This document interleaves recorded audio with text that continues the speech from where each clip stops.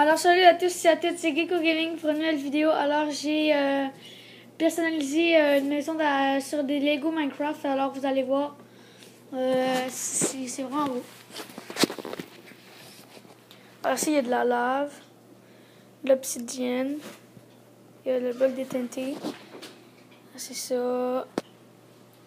Un petit jardin, une maison. Maison que j'ai personnalisée.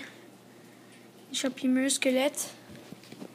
Euh, ça donne quand même un, un- un beau résultat.